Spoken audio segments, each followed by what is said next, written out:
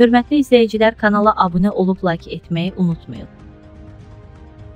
Dünya Bankı Azərbaycanda COVID-19-la mübarizə və virusun nəticələrinin aradan qaldırılması ilə bağlı yeni layihəyə başlayır. Big Az xəbər verir ki, Azərbaycanda COVID-19-a təcili reaksiya layihəsi bu ilin sentyabrında işə düşəcək.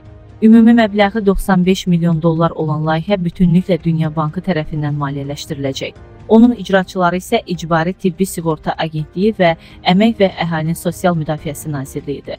Layihə çərçivəsində atılacaq əsas addımlardan biri əhalinin həssas və aztəminatlı təbəqəsinə ailələr və ayrı-ayrı şəxslərə müvəqqəti dəstək vermək və onlara ödənişlər etməklə bağlıdır. Həssas ailələr üçün müvəqqəti pul ödənişləri indiyədək mövcud olan sistem üzərindən həyata keçiriləcək.